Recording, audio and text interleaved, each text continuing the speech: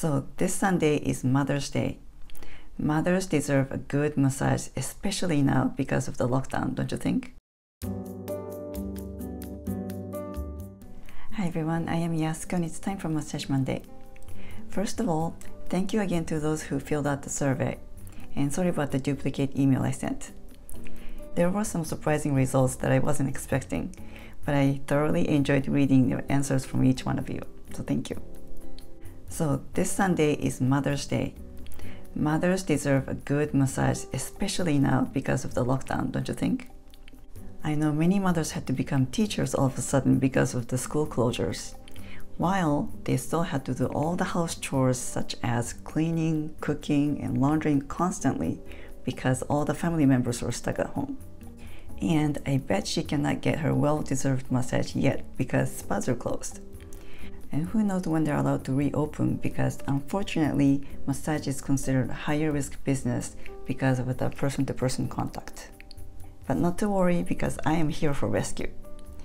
This week I will show you a shoulder massage to give to your mother. And when I say mother, it can be your partner or your mother. As you will see, this is very simple and easy and it feels amazing. And it doesn't hurt your fingers. Even your kids can do it. Why not make this one of your quarantine Mother's Day gifts?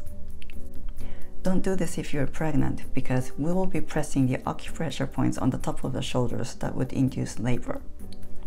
Have the receiver sit on the floor in front of the couch. Make it comfy with a cushion. And give her sit behind the receiver on the couch. First, let's connect. Give her put both hands on the receiver and match the breathing. Take three deep breaths together. This helps you to connect and calm down together. As you do this, think of at least one thing you love or appreciate about the person you're touching. Touch is a very powerful communication tool, and your thoughts and feelings can transfer through touch. Always have happy thoughts about the person you're touching. If you can't think of anything that you love or appreciate about your partner, you may need a different kind of therapy besides massage therapy. Stand behind your partner sitting in front of you Pick three locations between the base of the neck and the shoulder bone. Take a breath together, and as you both exhale, press each location on both sides with the base of your palms. Move to the next as you inhale together and press as you both exhale. Move to the last point and repeat.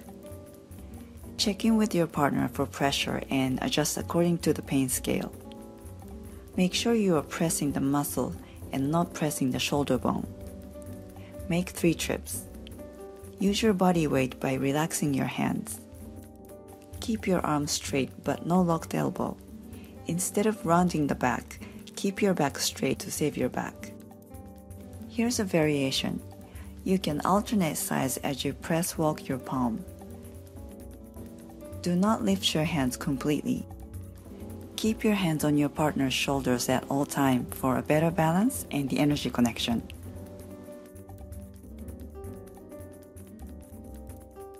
You are using the heel of the palm, but don't cock your wrist because when you bend your wrist, you're using the forearm muscles.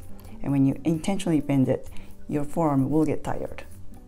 So relax your wrist and just lean in with your body weight. Breathing together is a nice way to connect. And when you exhale, your body relaxes. So pressing as you both exhale is a nice way to connect and relax. But you don't have to do it all the time. You don't have to be adamant about it. In general, if you go slower, it feels deeper and more sincere to the receiver. Sometimes the giver starts going really fast and that's not very relaxing. Use the breathing as a mean to reconnect and calm down together during the session. To all the mothers in the world, I don't know how you do it.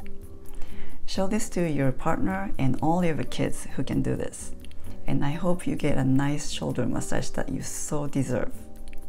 And I'm going to make it a seven day challenge so it's more fun. I timed the three trips on three locations, pressing both sides at the same time, and another three trips on three locations, alternating sides. And it took about a minute and 20 seconds. So with connecting, let's say minute and a half, so 90 seconds, that's it. None of those thumb circles or finger killers, so your fingers won't hurt and you will last. If you're stuck at home, you have no excuse not to do this for your partner or mother to show your love and appreciation in a new way. So the challenge is to do this every day for your mother until Mother's Day and on Mother's Day. If you dare to accept the challenge, please let me know in the comment below. This is one of the shoulder massage that I teach my clients and they love doing this because it's so easy. And this is kind of the massage that I teach, short and sweet, nothing complicated. And if you want to learn more, you can get the free massage guide from the link below. Thanks for watching. I'll see you back next week. Make it a great week. Feel free to comment below and please don't forget to subscribe. And click on the bell so you'll be notified when my videos up and out. Happy Mother's Day.